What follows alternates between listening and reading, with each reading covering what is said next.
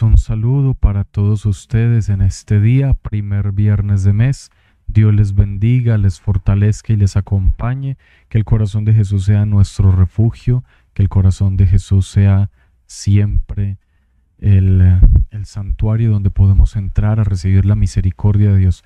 Sí lo es, pero que nosotros lo sepamos valorar. El Señor siempre está dispuesto, están abiertas siempre las puertas del santuario del corazón divino, pero somos nosotros los que no valoramos esa posibilidad que tenemos de ingresar allí. Pero hoy la valoramos, hoy renovamos el corazón, la mente y nuestro amor profundo al divino corazón de Jesús. Saludo a los hermanos que están aquí conectados, los que estaban esperando, estaban allí un poco ansiosos, claro, porque como les digo, cuando los programas son en vivo, ocurren a veces unos retrasos, a veces. Entonces, bueno, pero los que nos ven en diferido tienen allí su programa completo en cualquier momento. Bueno, gracias a los que aquí nos estaban esperando con comentarios, saludos, bendiciones. Qué bueno que también entre ustedes se conocen, se saludan, ya incluso extrañan a los hermanos, preguntan unos por otros. Bueno, es muy bonito. Hemos hecho comunidad, gracias a Dios, a pesar de, estar, mm, no estar presencialmente, sino virtual, pero hemos hecho comunidad aprovechando la ciencia, la técnica de los medios de comunicación para avanzar en nuestro proceso de crecimiento espiritual. Es lo que hay que hacer, aprovechar todo para crecer en el amor de Dios. Si algo es bueno bueno, pero no nos aporta para el crecimiento del amor divino, pues entonces no deberíamos tenerlo. Bueno, hay cosas que son neutrales tal vez. Por ejemplo, no sé, digamos el deporte. Entonces, bueno, hay que aprovechar los espacios para hacer deporte. El deporte es salud. Y algunos dirán, bueno, pero eso que se relaciona, ¿en qué se relaciona con la vida espiritual? Y pues eh, yo digo, bueno, se relaciona porque Mm, al buscar la salud, al procurarnos la salud o la integración comunitaria, estamos creciendo como hermanos y estamos mm, cuidando del don de Dios que es la vida y el propio cuerpo.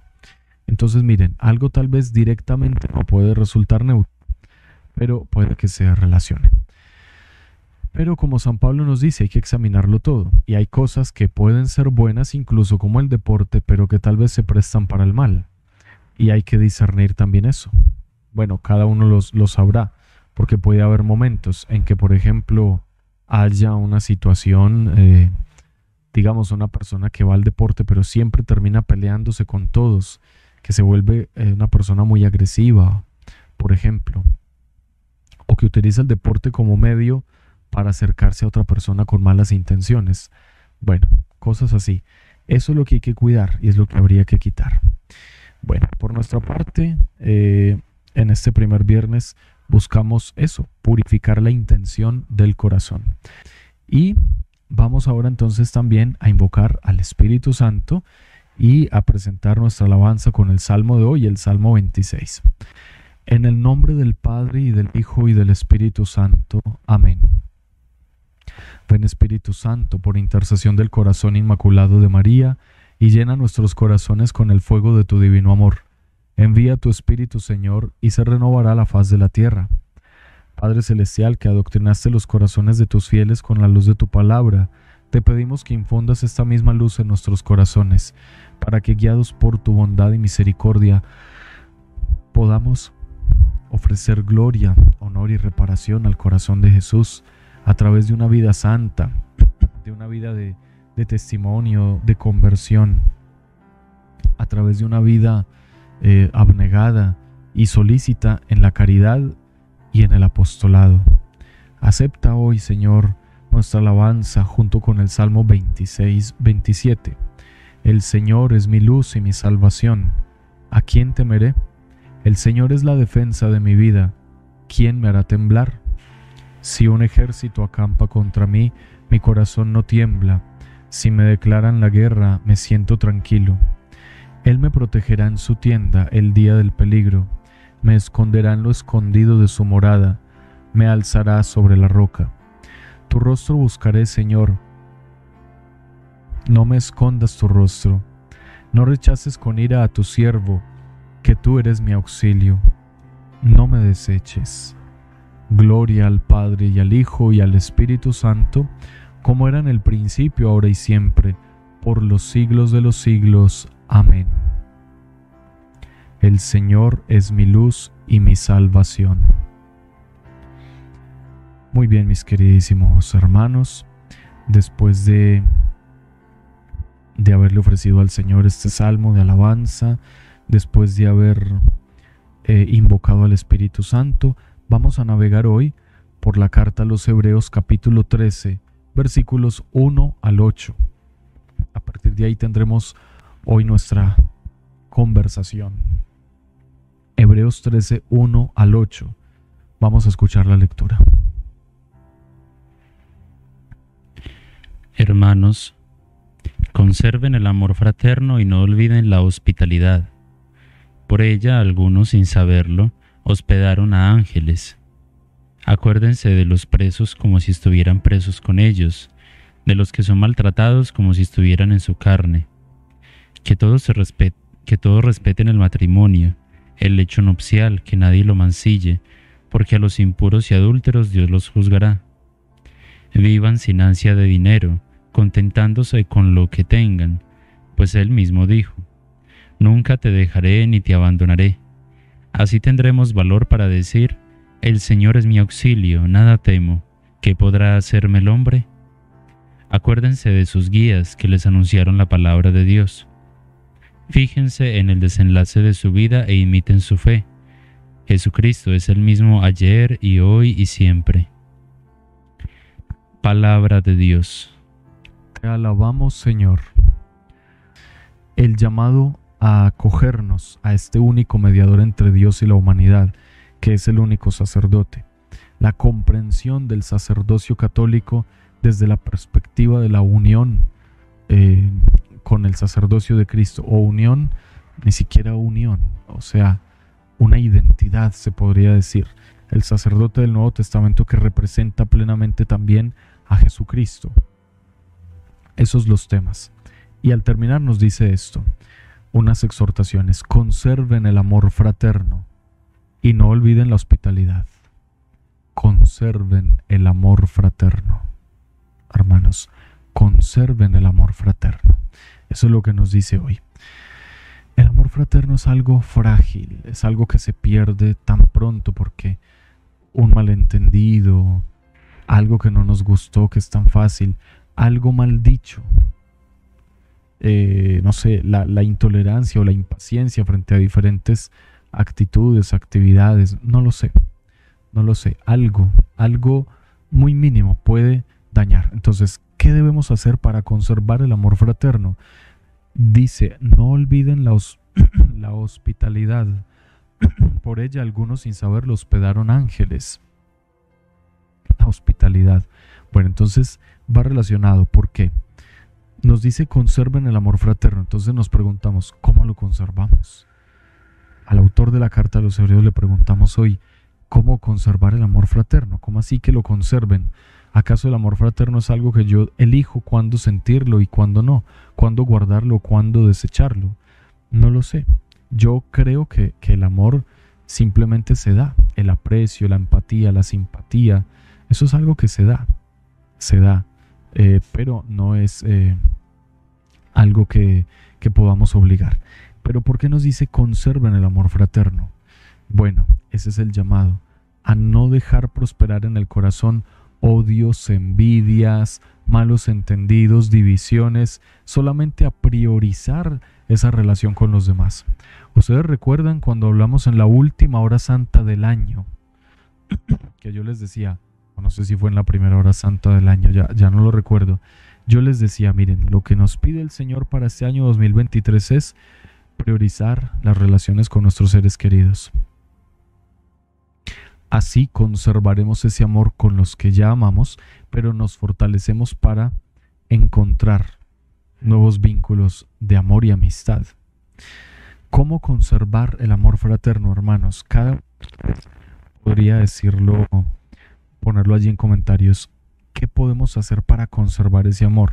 yo tomo como punto de partida la hospitalidad que mencionan acá.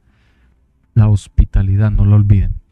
La hospitalidad, eh, bueno, es recibir a alguien en casa, brindarle lo mejor, hacerle sentir muy bien a los que van de paso, a los peregrinos, ¿sí? Hospedaje, hospitalidad. Pero yo voy más allá, porque Cristo va más allá. Y cuando hablamos de hospitalidad, pues vamos más allá. Mire, cuando hablamos de amor, Cristo va más allá y dice, amar también a los enemigos, amor total. Cuando hablamos de hospitalidad, también debe ser hospitalidad total. Y la hospitalidad es acogida. Cuando tú acoges a una persona en tu corazón, cuando tratas de hacerla parte de tu, de tu vida, de tu entorno, de tus actividades, cuando le vinculas a tu cotidianidad, le acoges. La hospitalidad es acogida. No necesariamente eh, con una intensidad, sino con la apertura del corazón, mostrando el signo del amor, de la unidad, de la amistad, abriendo el corazón, abriendo el alma para mostrar a los demás eh, el aprecio, para mostrar el cariño, el amor de Cristo que nos llama a todos a ser hermanos. Cuando se brinda hospitalidad, cuando se da apertura, se van generando también vínculos, vínculos de amistad, de confianza, de mutua cooperación. Entonces, cuando dice conserven el amor fraterno y no olviden la hospitalidad, creo que ahí nos da la clave el autor de la carta a los hebreos. Conserven el amor fraterno, quiten el odio, las divisiones, la envidia, quiten eso y traten de vivir la hospitalidad, la acogida. No solo es acoger a alguien en casa, hay que acogerles también en el corazón. Eh, muchas personas, pienso en los judíos, los judíos son muy estrictos con esto. A quien acogen en casa es porque ya le acogieron antes en el corazón. Si no hay una acogida en el corazón, tampoco hay una acogida en vivienda, aunque la escritura manda tener misericordia con el peregrino. Bueno, esto el primer punto.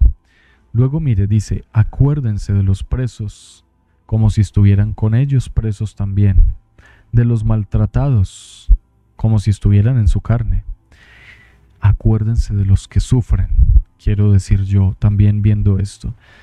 Para conservar el amor fraterno también nos manda no solo acordarnos de la hospitalidad, ser, ser personas acogedoras, sino también misericordiosas. Los presos, los maltratados nos mencionan acá. Misericordia. Acuérdense de tener misericordia, caridad con los hermanos, especialmente con los que sufren, sea porque sufran justa o injustamente. Em, aquí hablan de unos presos, seguramente son los hermanos, los cristianos que tomaban prisioneros. Pero hoy pensamos acerca de todos, toda la humanidad sufriente, porque Jesús va más allá. No solo los presos que son de los nuestros y son presos porque eran creyentes y porque era prohibido seguir a Jesús. No, también a los que son delincuentes y que están allí con toda causa, con toda justicia, también hay que amarlos, ayudarles, brindarles gran apoyo. Bueno, lo mismo los maltratados. Luego nos dice que todos respeten el matrimonio, el lecho nupcial, que nadie lo mancille. Los impuros y adúlteros serán juzgados por Dios. Que todos respeten el matrimonio. Todos, incluso los que no son casados. Por eso nadie debe mirar a una persona casada. No. No, aunque surjan impulsos o afectos, no debes mirar a una persona comprometida con esas intenciones. Nunca que todos respeten el matrimonio, sea cual sea, el propio o el del prójimo. Que todos respeten el matrimonio. ¿Y por qué estás tú acá si estamos hablando del amor fraterno? Ah, ¿y acaso los celos no son una causa para dañar el amor fraterno? Sean fundados sobre una realidad o no, sobre un pensamiento o una idea. Los celos. ¿Y por qué se generan los celos? porque no se respeta el matrimonio completamente. Y es muy delicado, hay que respetarlo bastante. Los que son casados, respeten mucho sus matrimonios. así conservamos ese amor fraterno, así le hacemos caso a lo que hoy nos dice la palabra, cuando sé cuidar también de los demás. Nos dice, vivan sin ansia de dinero, contentándose con lo que tengan. Él mismo dijo, nunca te dejaré ni te abandonaré. Nunca te dejaré ni te abandonaré. Bueno, entonces confiar en Dios. Vivan sin ansia del, de dinero, nos dice hoy la palabra también. Porque el ansia de dinero termina también llevándonos a lo contrario, al amor fraterno. El que quiere dinero, lo quiere, pero no quiere compartir con los demás. El que quiere dinero lo consigue a veces pisoteando a los demás, haciéndoles daño. Y otros no lo consiguen y se ufanan de ser personas pobres o muy juiciosas con el tema del dinero, pero viven envidiando a quien lo tiene. Entonces es lo mismo. ¿Recuerdan cuando Jesús nos enseñó que han dicho no, no, no eh, fornicar o no, no adulterar, no desear la mujer del prójimo, no adulterar? Y dice Jesús, pues si deseaste, ya adulteraste con ella en tu corazón, ya manchaste tu alma. Eso lo enseñó Jesús. Entonces ahí es como nosotros también entendemos esto. El que, el que se ufana de ser una persona pobre o muy correcta con el dinero, de todas maneras hay también problema grande. Y el problema grande es eh, que ya lo desean en el corazón. Porque como les digo, hay muchos, yo conozco a muchos, muchos hermanos, muchas personas que critican a los demás porque gastan, porque tienen dinero, porque no son pobres de espíritu, pero ellos mismos viven muertos de envidia, deseando todo eso. Entonces ya pecaron, ya cayeron en el pecado porque en su corazón deseaban algo, simplemente aparentaban lo contrario. Entonces, no, de ninguna manera podemos permitir esto. No vivir con ansia de dinero, ni deseándolo para nosotros, ni deseando lo que los demás tienen. Cuando una persona tanto desea lo que los demás tienen, nunca deja de criticar y la crítica daña el amor fraterno. Pero es impresionante, se los aseguro. Contentándose con lo que tengan. Bueno, siempre eh, saber que tenemos lo básico, lo necesario. Cuando el corazón se envilece, eh, se, dañan se daña la recta intención. Por eso debemos buscar a lo, solo a lo básico. Los que no tienen tanto dinero, pues aprovechar la situación para vivir sobriamente. Y los que lo tienen, saberse despojar, saber ayudar también y, y sufrir un poco para abandonarse en las manos de Dios. ¿Qué nos promete hoy? Nunca te dejaré ni te abandonaré. Así tendremos valor para decir, el Señor es mi auxilio y nada temo. ¿Qué podrá hacerme el hombre? Nunca te dejaré. Y le respondemos con ese salmo, eres mi auxilio, Señor. No me abandonas, me ayudas. Nadie puede nada contra mí porque tú eres mi auxilio. Y nunca nos dejará ni nos abandonará, pero siempre y cuando vivamos todo lo anterior conserven el amor fraterno. Nos habla de los guías que anunciaron la palabra de Dios y nos pide fijarnos en el desenlace de su vida. Imiten su fe, Jesucristo es el mismo ayer, hoy y siempre. Los guías que anunciaron la palabra nos ponen como ejemplos a los antepasados, a los santos, a los grandes de tiempos remotos. Fíjense cómo esta gente anunció la palabra imiten su fe. Jesucristo es el mismo ayer, hoy y siempre.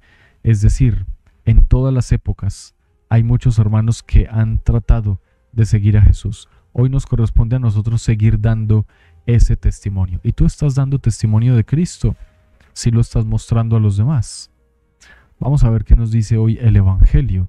Es tomado de Marcos 6, 14 al 29. Evangelio según San Marcos capítulo 6, 14 al 29. Vamos a escuchar el texto.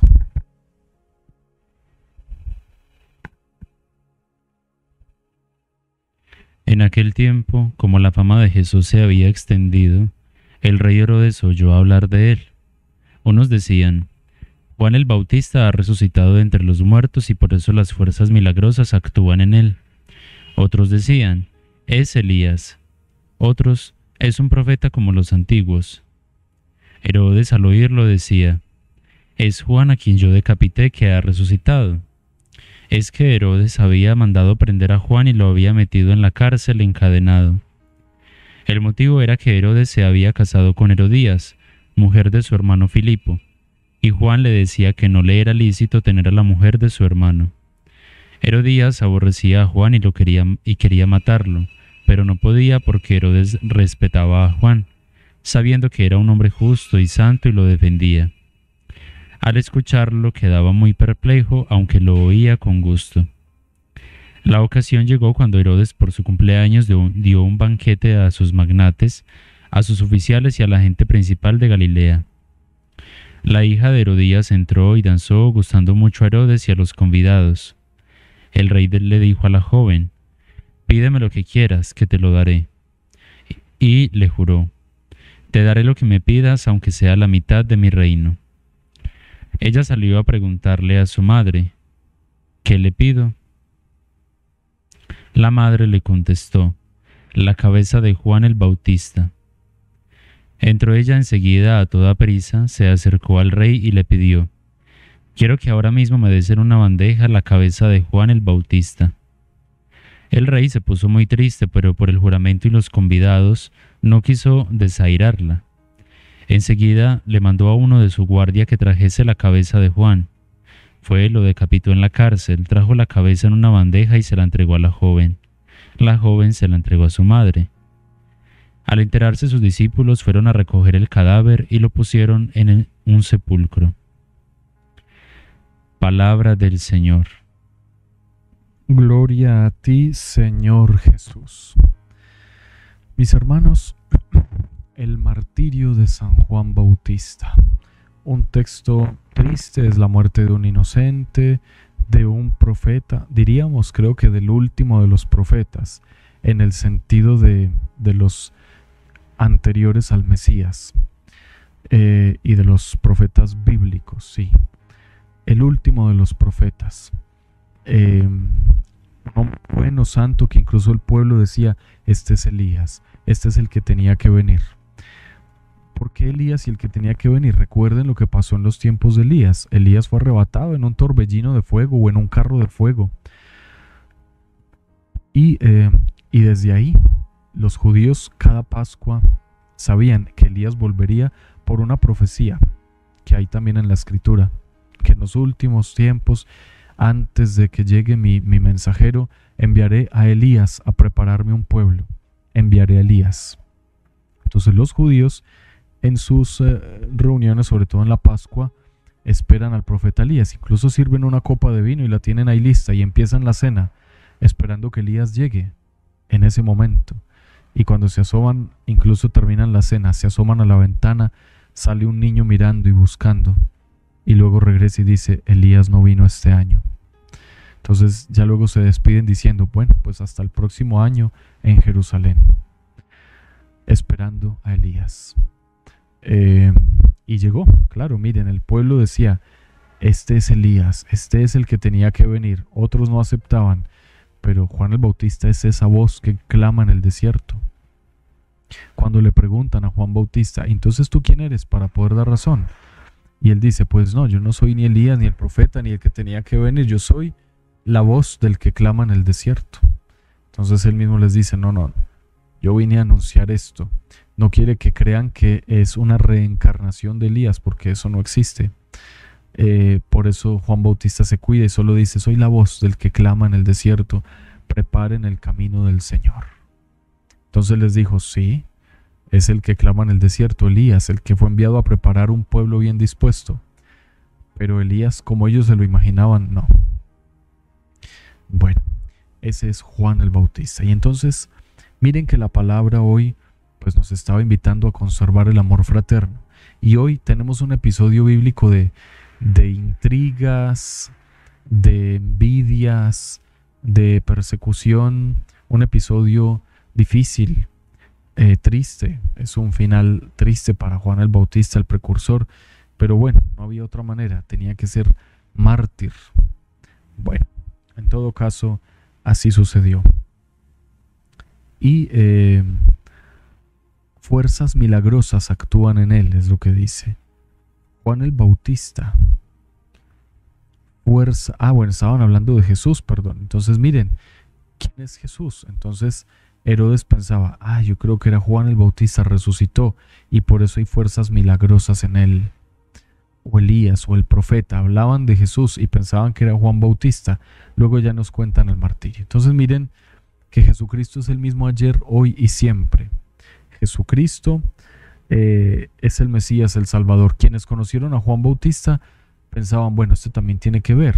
¿Será que este es el Mesías? Dudaban. Quienes conocieron a los profetas del pasado también decían, bueno, ¿y esta gente, este por qué tiene estos hechos portentosos? ¿Cómo actúa de esta manera? ¿Qué poder tiene? Bueno, siempre se lo preguntaban, pero es la misma gracia de Cristo. Cristo que de alguna manera iba manifestándose en sus profetas, reyes, patriarcas, en el propio Juan Bautista, hasta que ya aparece nuestro Señor es el mismo ayer, hoy y siempre, porque donde hay un creyente, un hijo fiel de Dios, de alguna manera allí está representado el Hijo de Dios, el único, el unigénito.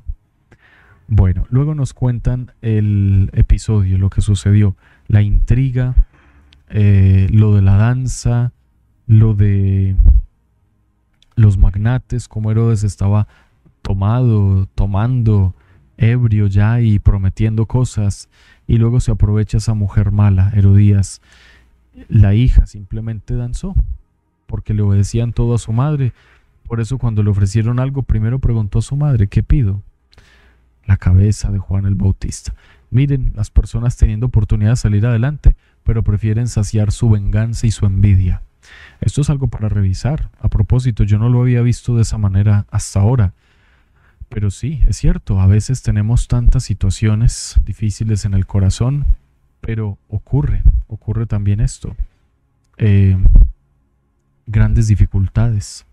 Las personas atraviesan por esos momentos de deseo de venganza. Y el Señor nos pide el amor fraterno, pero muchos solo ven la venganza. Miren cómo empieza la primera lectura, conserven el amor fraterno. Pero miren este Evangelio, a esta mujer odiando a muerte a Juan el Bautista, al profeta, al precursor, a un hombre bueno y santo, solo porque le dijo, mira, este es el mal que están haciendo ustedes.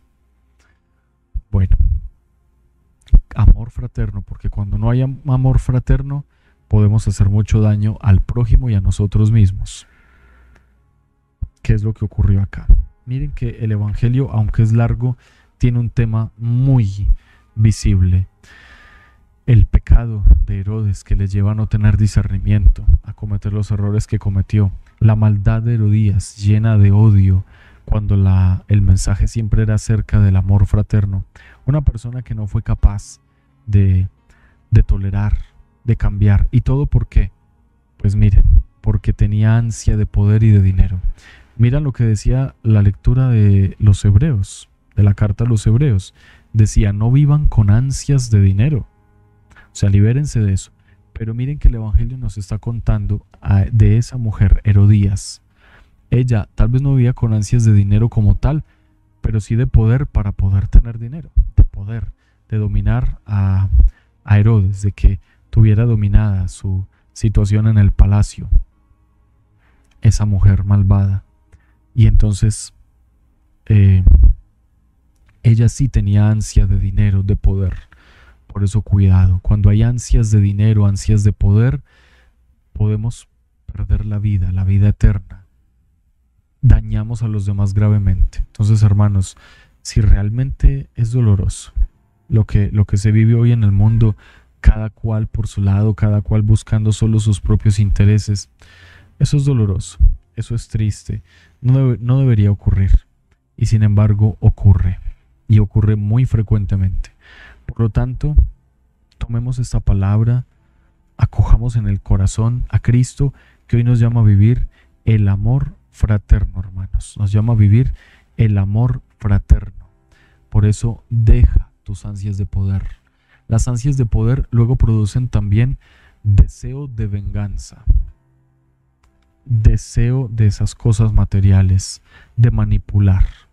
Cuidado, muchos hermanos viven con ansias de poder. Muchos, muchos, muchos, en el mundo entero, de sobreponerse a los demás, de brillar más, de aparecer más, de ser los que más. Cuidado, que el Señor nos manda a ser humildes y amarnos con amor fraterno. Hermanos, creo que las enseñanzas de hoy están ya suficientemente claras y el Señor nos manda a trabajar en ese amor fraterno. Definitivamente buscar calmar el corazón, quitar la venganza, el odio, todo de nuestro corazón. Busquemos solo de Dios el reino y lo demás llegará por añadidura. Queridos hermanos, hasta aquí nuestro programa de hoy. Recuerden dar like al video y compartir con todos sus contactos para que se suscriban. Activen la campanita para que les llegue notificación a sus dispositivos acerca de nuestros nuevos videos o transmisiones en vivo. Permanezcan siempre con nosotros en oración continua, en nuestra programación diaria y por supuesto unidos en oración de intercesión unos por otros, por esta comunidad virtual.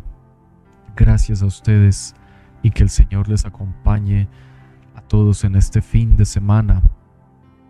Que la palabra sea nuestra riqueza, nuestro alimento, nuestra fortaleza y que podamos aplicar lo que hoy nos ha dicho el Señor. En el nombre del Padre y del Hijo y del Espíritu Santo. Amén. Dios con nosotros.